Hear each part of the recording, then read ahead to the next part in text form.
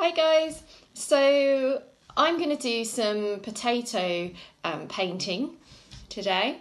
I have a potato, I've cut it into the shape of a star. So you see my little star? and I've got some paint here. And then thought I could do my printing on some paper because I want to show you how you could maybe make your own wrapping paper or a gift tag. So it's just a way of, of making them look pretty. Okay, so here goes. So here's my potato cut into the shape of a star.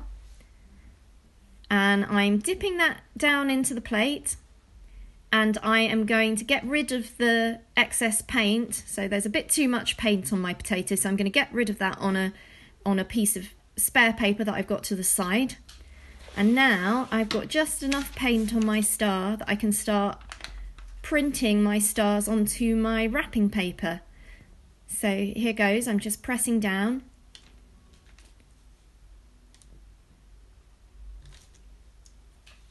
Now you'll find after a few presses that you'll start to run out of paint.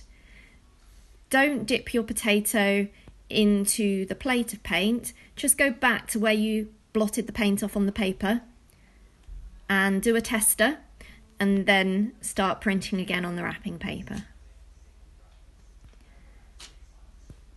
And now I am going to move on to my gift tag.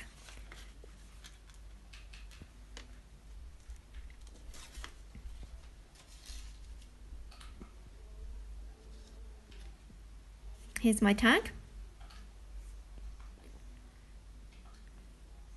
So I'm just dipping into the, the plate again just to get a nice amount of paint and I'm trying it out on the paper, getting rid of some of the, the paint and now it's ready to go onto the tag. It's pressing down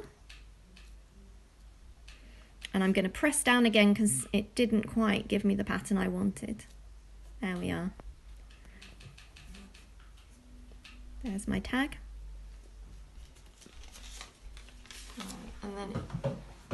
So now that they're done, you can decorate them with a bit of glitter to make them look pretty.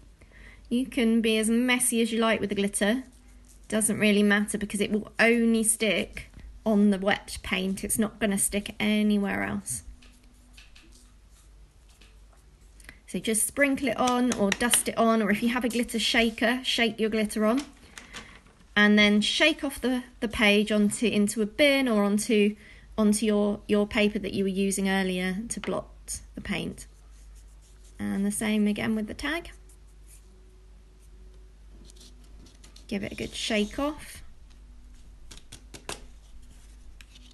And there you have your, your gift tag and your paper. All done. Now remember to put newspaper down. I been very silly. You can see I haven't put newspaper down in this uh, video. So just remember, do put newspaper down before you start doing any painting. Um, you don't want to get table messy. All right. Okay, bye guys.